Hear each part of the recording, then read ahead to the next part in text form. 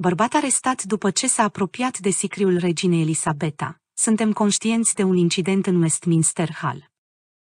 Un bărbat a fost arestat după ce s-a apropiat de sicriul reginei Elisabeta în Westminster Hall. Autoritățile au precizat că incidentul a avut loc vineri seară, în jurul orei ora 22, dar că totul este sub control. Un bărbat a fost arestat după ce s-a apropiat de sicriul reginei Elisabeta de la o coadă de persoane în doliu în Westminster Hall.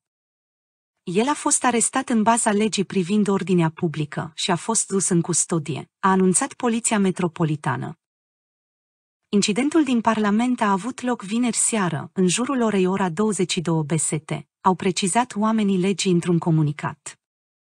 Înregistrarea video în direct a reginei care se află în stare de veci a fost întreruptă pentru o scurtă perioadă de timp în timpul incidentului. O declarație a Scotland Yard a spus, în jurul orei 22.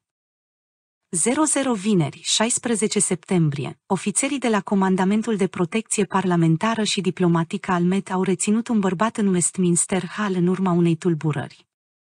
Un purtător de cuvânt al Parlamentului a declarat, suntem conștienți de un incident în Westminster Hall, în care un membru al publicului a ieșit din coadă și s-a îndreptat spre catafalc.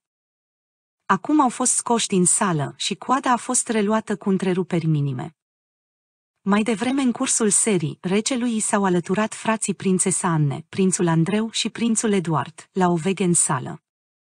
Regina Elisabeta a II, decedată, va fi ținută la Westminster Hall până în ziua înmormântării sale, luni, potrivit BBC.